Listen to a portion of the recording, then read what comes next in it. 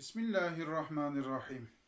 Değerli kardeşlerim, Ramazan-ı Şerif'in 11. gününde bulunuyoruz.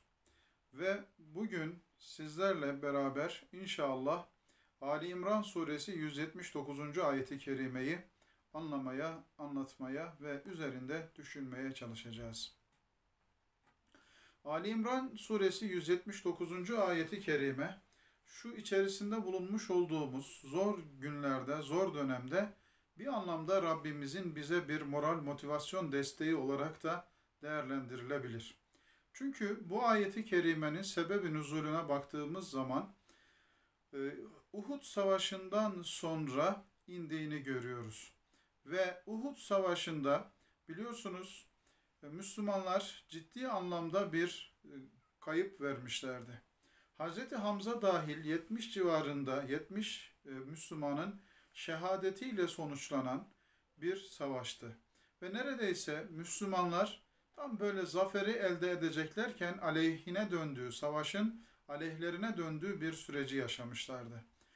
Ve e, normalde Müslümanlar Medine dışına yani Uhud'a e, aslında daha büyük bir kuvvetle gitmelerine rağmen yolda 300 civarında münafığın geri döndüğünü de yine kaynaklar bize haber veriyor. Yani Müslümanlar e, şöyle bir sıkıntıyla karşılaştılar. Daha e, yola çıkarken e, münafıkların terk etmesiyle, ordudan ayrılmasıyla beraber güçlerini kaybettiler. Moral ve motivasyonlarını kaybettiler.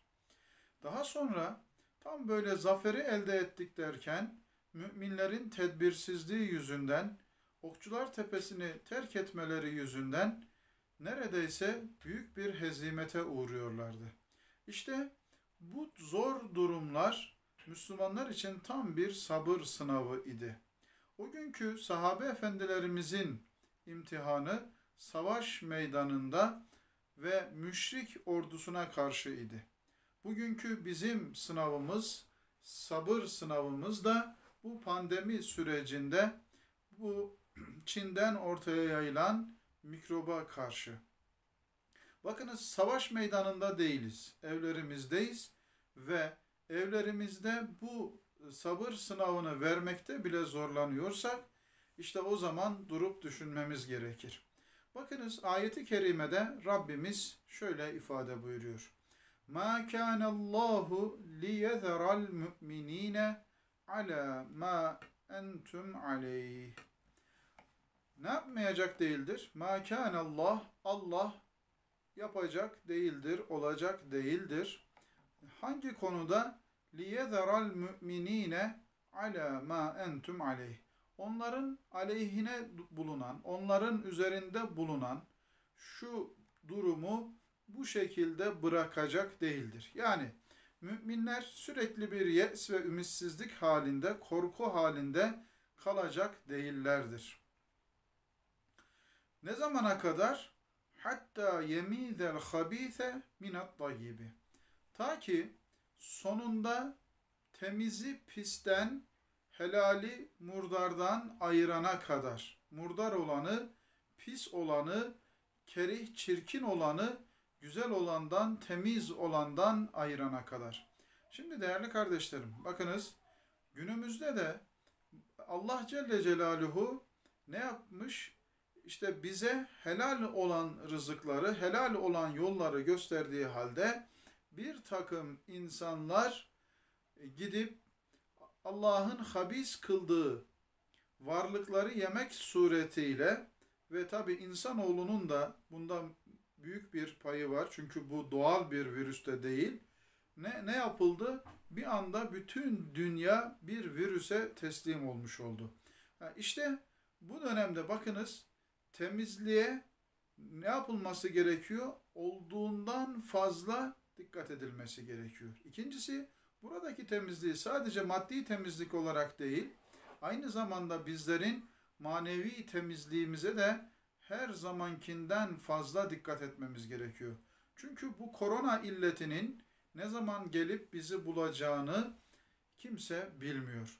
Öyleyse biz bu süreçte evlerimizde kalmış olduğumuz bu süreçte hem maddi olarak hem manevi olarak temizliğimize dikkat etme, hem sabır imtihanını e, doğru olarak, doğru bir biçimde yetkililerin tarif ettiği şekilde vermek suretiyle inşallah bu süreci atlatacağız. Allah müminleri, Müslümanları bu içerisinde bulunmuş olduğumuz zor durumda ila nihaye bırakacak değildir. Ancak işte iyinin kötüden, doğrunun yanlıştan ayrılması için Allah dün olduğu gibi bugün de bizleri ne yapıyor? Sabır sınavına tabi tutuyor. Ve ma kana Allahu li yutli'akum alel gaybi. Ha, bununla beraber Allah sizi gayba muttali kılacak da değildir. Yani Allah size gaybı bildirecek de değildir. Bakınız yani şöyle bir iddia yok veya şöyle bir anlayış yok. Ya biz Müslümanız, müminiz. Allah bizi her halükarda ne yapar? Kayırır. Bizi bize torpil geçer. Bizi el üstünde tutar. Bizi farklı kılar değil. Bu bir imtihansa, bu bir sabır imtihanıysa biz müminler olarak bu sabır imtihanında ne yapmamız lazım? Ee, tedbiri elden bırakmamız lazım ki biz ne yapmıyoruz? Gaybı da bilmiyoruz. Eğer bir insan gaybı bildiğini, Allah'ın kendisine gaybı bildirdiğini iddia ediyorsa, geleceğini bildiğini iddia ediyorsa o insan nedir? Yalancıdır. Çünkü geleceğimiz dediğimiz şey kaderdir. Kadere iman da bizim e, iman esaslarımızdan bir tanesidir ve bizim için gayiptir. Öyleyse velakin e, velakin Allah yectebi min rusulihi men yeşa Allah fakat Allah elçilerinden sadece dilediğine gaybı bildirir. Bakın elçilerinin yani rasullerin tamamı da şeksiz şüphesiz gaybı bilecek diye bir şey söz konusu değil.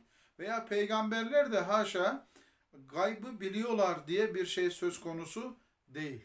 Allah'ın bildirdiği kadarını da peygamberler ancak ne yapabilirler? Bilebilirler. Fe öyleyse aminu billahi ve rusulih öyleyse ne yapın? Allah'a ve peygamberlerine iman edin. Tu'minu ve tettegu felekum ecrun azim eğer iman eder, takva sahibi olursanız Allah'tan hakkıyla çekinirseniz, korkarsanız nedir? Sizin için büyük bir mükafat vardır. Bakınız değerli kardeşlerim, bizlerin haşa Allah'ı tecrübe etme gibi bir lüksümüz, bir durumumuz yok.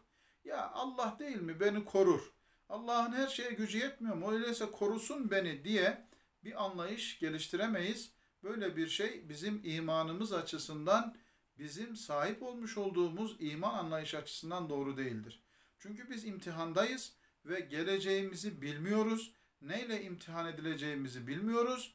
Öyleyse bizim ne yapmamız lazım? Sabırla, tedbirle bu sıkıntılı sürecin Rabbimiz tarafından üzerimizden kaldırılmasını beklememiz, sebat etmemiz lazım. İşte dün sahabe efendilerimizin Uhud dağında ve Okçular Tepesi'nde vermiş olduğu sınavı bugün bizim kendi evlerimizde vermemiz lazım. Bugün evlerimiz Okçular Tepesi'dir. Evleri terk etmek bir anlamda bu tehlikeyi kendimize e, veya Müslümanlara davet etmek anlamına gelir. Bu konuda da sorumluluğumuz olduğunu asla ve kat'a unutmamamız lazım. Çünkü biz ayetin de vurgusuyla gaybı bilmiyoruz. Başımıza ne gelecek bilmiyoruz. Allah gözle bile görülmeyen ancak mikroskopla görülebilen bir düşmanla da bizi sınayabilir, bizi sabır imtihanına tabi tutabilir. Bu bilinçte, bu şuurda olarak hareket etmemiz lazım. Evet, bugün sorumluluğumuz bir anlamda Okçular Tepesi olan evlerimizi terk etmememiz ve yetkililerin almış olduğu tedbirleri boşa çıkarmamamız, onların uyarılarına kulak vermemizdir değerli kardeşlerim. Rabbim bizlere bilinç, şuur ihsan eylesin. Yarın Ramazan'ın 12'sinde yeni bir videoyla buluşmak dua ve temennisiyle hoşça kalın. Allah'a emanet olun.